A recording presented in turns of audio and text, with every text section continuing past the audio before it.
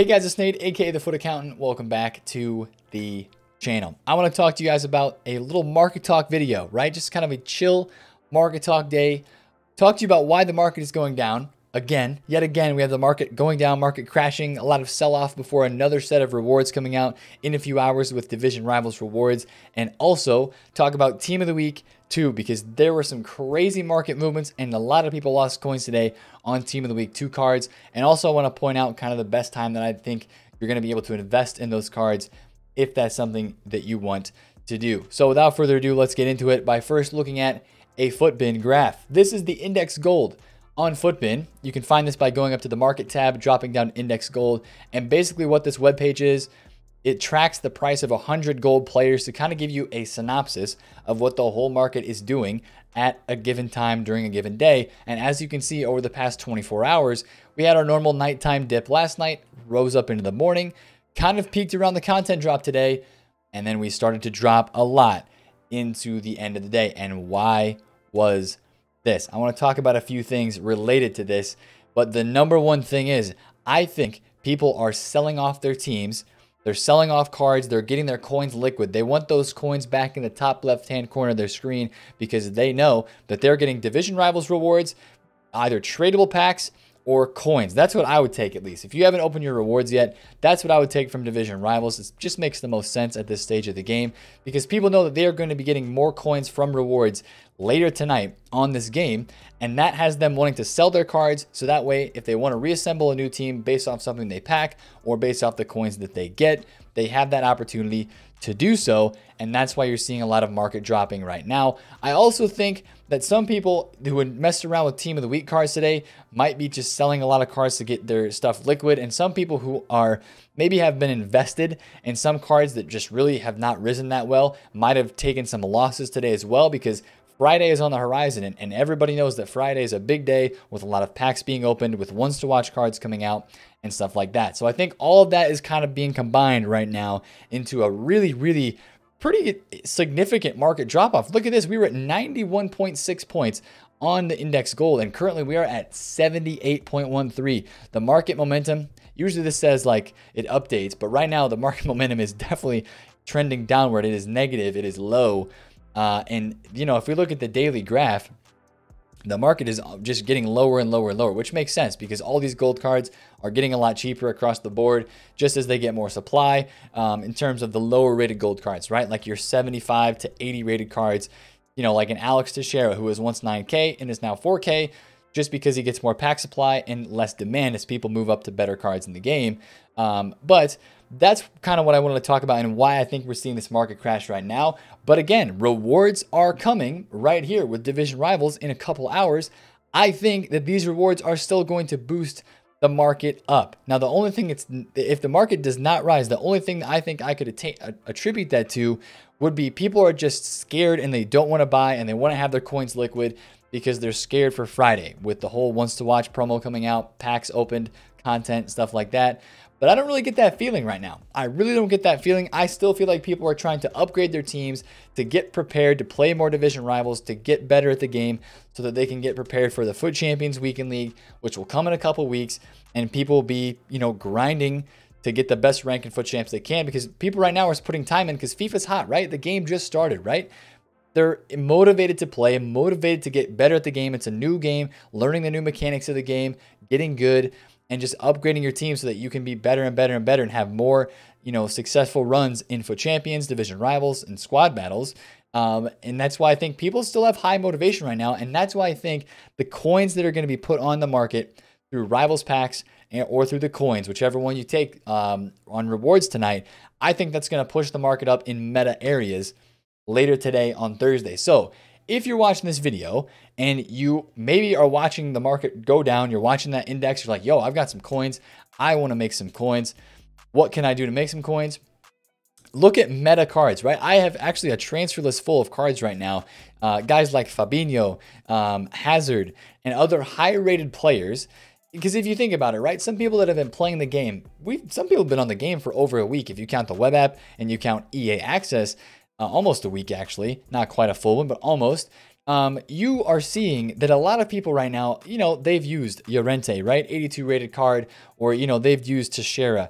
They have used some of the low rated Ake. They've used a lower rated card like Vinicius, like Tamori, like Ndombele, and now they want to upgrade to something bigger and better because they're getting more coins from coin rewards. Uh, of course, division rivals, squad battle rewards. They're trading, possibly making coins that way. Uh, and, and that is going to, you know, those lower rated players that people use for starter teams are going to still continue to drop lower and lower and lower as there's less demand for those. And players like a Van Dijk uh, or like a, I would even consider, you know, maybe Benzema, Wijnaldum, uh, Pogba, the higher tier Aubameyang, um, Bale, Koulibaly, um, Sancho, Reus, De Jong, players like that that people are trying to continue to upgrade to, and a lot of people maybe haven't attained just yet. Um, those are the players that I expect to rise today. So if you're watching, looking at a lot of these cards and looking at a lot of these prices, I mean, look at Bale, right? This is the Bale Real Madrid card. I clicked on the wrong one, but his Spurs card, right?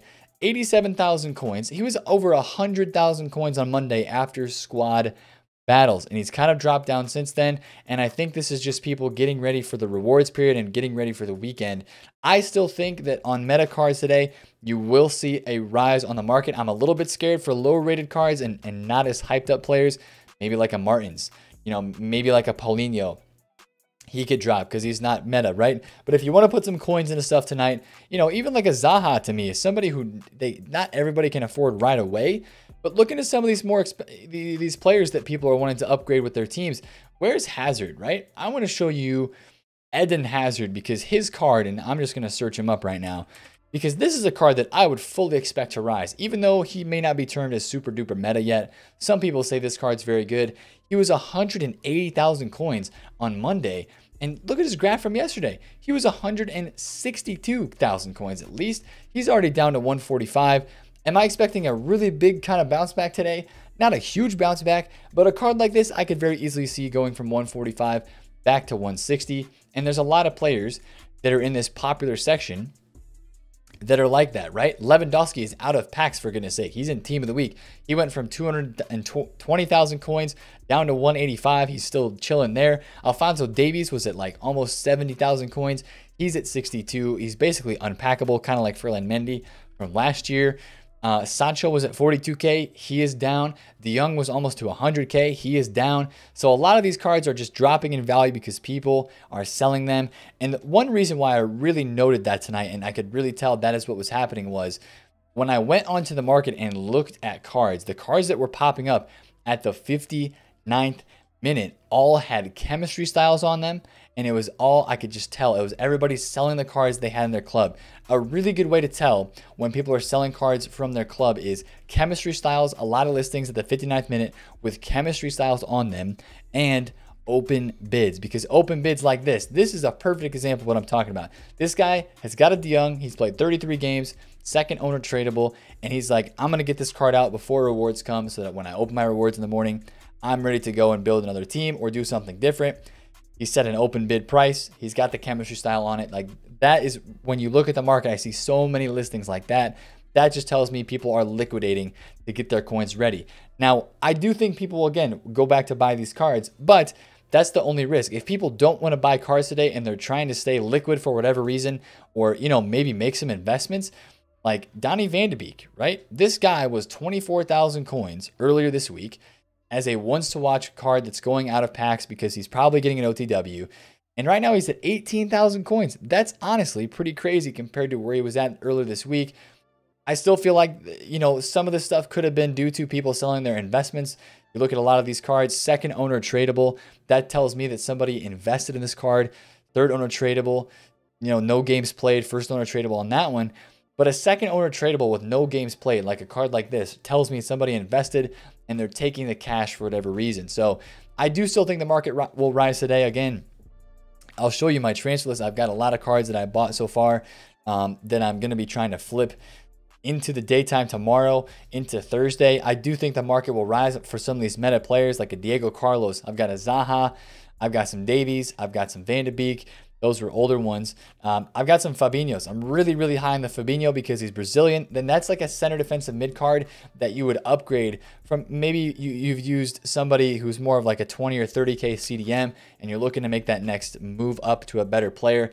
Fabinho, I hear, is really good in the game too. So I'm kind of putting a lot of my marbles on him, uh, along with some other cards that I had in the transfer list there as well. But I do expect the market to rise today until about 6 p.m. We should get a, the uh, marquee matchups set too, and then you might see a little bit of another downward trickle because as we head into Friday, people might start to sell off because they know prices could possibly be dropping on Friday with the ones to watch promo coming out. So the next two days are a little bit tricky in terms of stuff that could get you know hammered with a lot of supply on Friday and stuff that could still rise a little bit into the day on Thursday but I still feel like we're going to see a market rise in most areas. Some areas are going to probably still go down during Thursday just because they're cards that people don't really want to use anymore.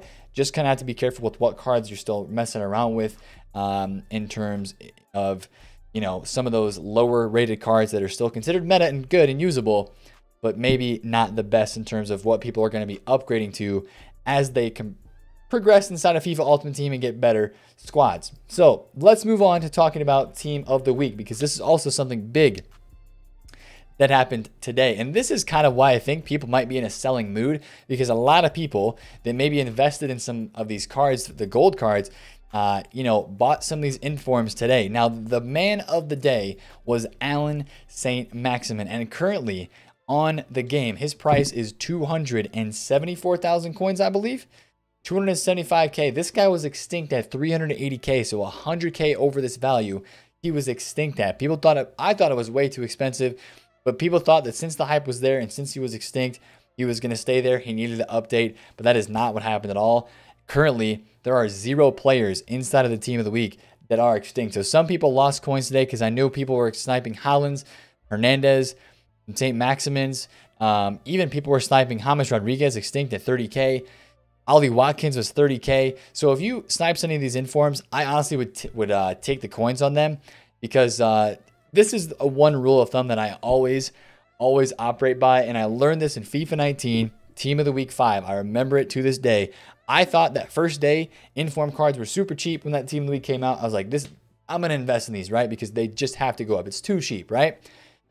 I've made a rule for myself since then because the cards always crash after day one. Never invest in Team of the Week cards on day one because they just don't have the supply, right? They just do not have the supply that the other cards. Um, they're they've only been in packs for like half the day on that day one they just they don't rise from there they always just continue to drop. So of course we have rivals rewards that could cause a few of these cards to go up a little bit. There's not a lot of packs being opened but there are some coins coming to the market. So maybe a guy like alan St. Maximin uh, Lewandowski seems a bit low to me. Uh, since his gold card was about 200,000 coins and now this inform is 367k that seems pretty low to me. It could rebound. Um, Haaland is pretty interesting that these two are about the same price. This is a sick left back and the biggest thing I want to tell you guys is this team of the week is really going to get hit with supply on Friday, right? I think the best time to buy basically all of these cards, unless it's a discard investment, might be on Friday during lightning rounds. Or not lightning rounds, but during after 6 p.m. UK. There's not going to be lightning rounds on Friday. I don't know why I said that, but it's going to feel like lightning rounds because people have saved up packs and people wait to open packs until a promo is out.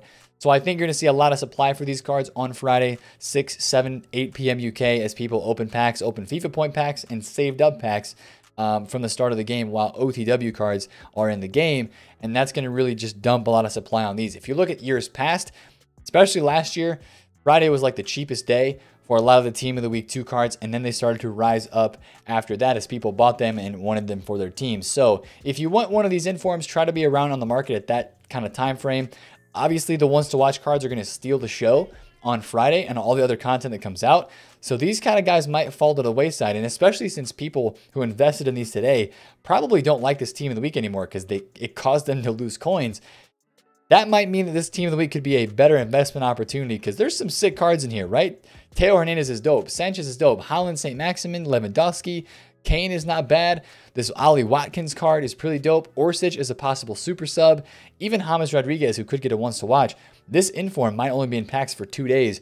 If James Rodriguez is in wants to watch team one. So that's just kind of stuff to think about. And if you do want to buy any of these for your team, I think I would look at a Friday time frame for one of those buys.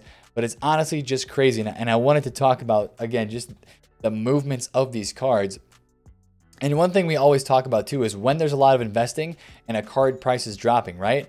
Um, this is good practice for when the ones to watch cards actually come out and when there's market movements with those in FIFA when they do good in game and IRL. This St. Max was extinct at 380, right? A lot of people were sniping him, they were buying him up, putting him on the transfer list. All of a sudden, right?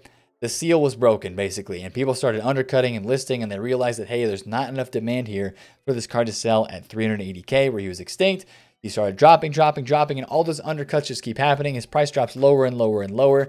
Just a bit about an hour ago, St. Maximin hit 260,000 coins, and he didn't really go any lower. I saw a listing at 258 and 260, and that's kind of the lowest that he went. And then after that, he kind of rebounded back up to 290, and now he's kind of back down to 275. That's what happens a lot with this panic selling because people really don't know how to value this card just yet and they don't know where the demand is exactly going to be, this card could pop back up over 300,000 coins in the morning after Rivals Rewards, or it could stay the same price and just kind of fizzle out and then maybe drop a bit tomorrow on Friday before rebounding later in the week next week.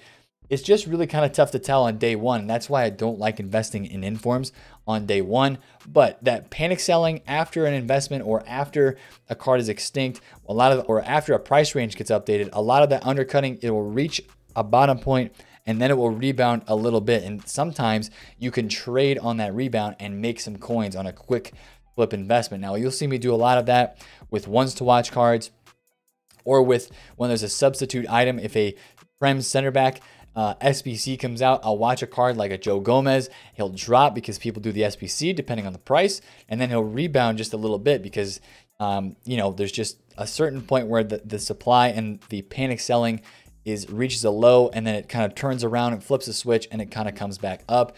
Um, and that's pretty often. That happens a lot of different areas inside of FIFA Ultimate Team. So if you can get that kind of trading scenario down and understand that kind of stuff, that could be a big time moneymaker through you for you throughout the entirety of FIFA Ultimate Team. So that's kind of all I want to talk about today is just this team of the week is driving people nuts right now. There's a lot of cards that are dropping. The market is going down. And I think it has to do with just people wanting to get their coins liquid, be ready for the next couple of days. I do still think we'll see a market rise. And again, could you be could, could you be a little bit less risky here and not do anything? Yeah, you could sit here with your coins totally liquid and wait until Friday to see what happens. But what's the fun in that? And there's no, you're not going to make coins if you don't ever spend your coins. And you got, you have to take some risk, right, to make coins in this game. So I'm taking a small risk and I'm taking some of you guys along with me, right? I've recommended, hey, some of these really meta, higher rated players, because those are the people that I think players are going to want to upgrade their teams with tomorrow if they're going to be buying anything. And I just feel like those still have a chance to rise, but it's kind of like a short window. So I wanted to make sure that I would explain that fully as well so that you could eh, understand that and know what was going on. So a lot of crazy stuff. We also got a kit SBC today. I'm not even going to give that the time of day because we don't like kit SBCs. Boring, but anyways, I just wanted to again get this market talk video out and just kind of talk about everything that happened on the market and could again happen in the next day or so. Friday's a big day, and we'll be here to talk about that tomorrow night on the channel. As always, if you enjoyed this one, smash the thumbs up on it, comment down below if you have any questions, and of course, subscribe to the channel if you're new. It's been Nate the FUT Accountant. Catch you guys later. Peace.